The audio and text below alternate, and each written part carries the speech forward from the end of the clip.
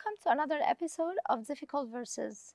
Today we are very blessed and honored to have His Eminence Metropolitan Youssef, Metropolitan of the Diocese of uh, Southern United States. Thank you, Sayyidina, for blessing us with your presence today. Today our verse is from the first epistle of St. Peter, chapter 3 and verse 19, by whom also he went and preached to the spirits in prison. Our challenging verse is from content.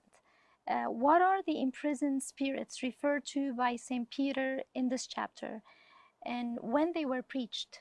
We know that the Lord Jesus Christ, after he died on the cross, he descended by his spirit, the human spirit, into Hades. Mhm. When he descended into Hades, he preached the good news of salvation to the right to the righteous who lived righteously um, and they went to Hades because the paradise was closed. So he preaches the good news that the paradise is opened, and now he descended to Hades to take all these souls with him from Hades to the paradise of joy. But the difficult actually verse is verse 20, when he said, and preach it to the spirit in prison. Yeah. So the spirit are the spirit of people who died on the hope of resurrection and salvation. In prison means in Hades. Who formerly were disobedient. When once the divine long suffering waited in the days of Noah, while the ark was being prepared, Mhm. in which a few, that is, eight souls, were saved through water.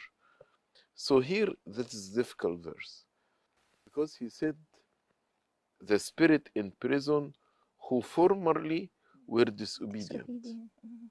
and then he spoke specifically about those who were disobedient when Noah was building the ark and the divine long suffering waited you know patiently in the days of Noah. Mhm. So we know that God, the Lord Jesus Christ, when he descended to Hades, he preached only to the souls that died on hope of resurrection. Yeah. But what about the souls who were disobedient? Mhm.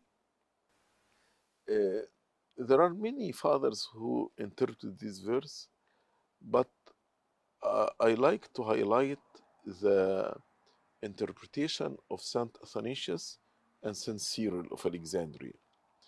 Both of them said the word formerly disobedient. So at the beginning, when Noah was building the ark, they disobeyed and they refused to Yeah. believe that God will drown um, and flood the world. But after Noah entered the, the ark, Mhm. and the ark was closed, you know, and they saw the rain start to fall down and the water start to increase. At this moment, they realized they were wrong and they repented.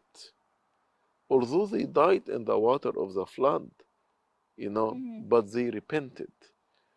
Uh, so, yes, only eight souls saved through Inside the ark, but there are some people who died in the flood. They repented. Uh, that's what Last St. minute. Athanasius and St. Cyril of Alexandria said when they saw the flood is coming. So these people also were included in the preaching of our Lord Jesus Christ when he descended in the spirit to Hades. So he preached to these souls who formerly were disobedient while the ark was built, but Mhm. when they repented, God actually, that's why he said the long suffering. So even those who repented after Noah closed the ark, Uh-huh. they were saved. So they still earn their eternal life. Yes. Mm, That was easy actually to explain. So, um, as Noah preached righteousness, suffered unjustly, and rescued those who were with him. So also does Christ. Christ descended to those in darkness and death, that light might shine on them and he might deliver them from death to eternal life. Thank you, everyone, for being with us. Thank you, Sayyidina, for blessing us with your presence. See you next time with another episode with His Eminence Metropolitan Youssef, Metropolitan of the Diocese of Southern United States. See you next time.